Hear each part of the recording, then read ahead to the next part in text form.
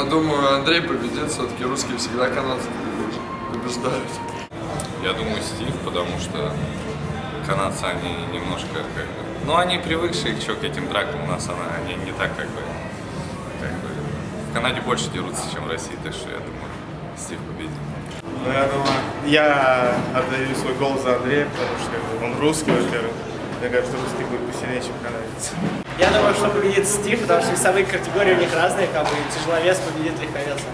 Я думаю, Андрюха победит, Почему? потому что, как, бы, во-первых, русский, во-вторых, мой друг.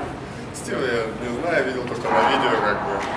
Ничего особенного из себя не представляет. Думаю, Андрюха сделает свое дело. Ну, безусловно, я буду болеть за Андрея, потому что он как бы русский, а тут канадец. Ну и вообще, как бы, я думаю, им не стоило драться, потому что хорошие люди, мне так казалось, которые работают хорошо на наши сайты, на канадские, и делают хороший веселый видео. Поэтому, если одного кого-то будет не хватать после драки, я думаю, будет плачевно. Так, вдвоем лучше работать.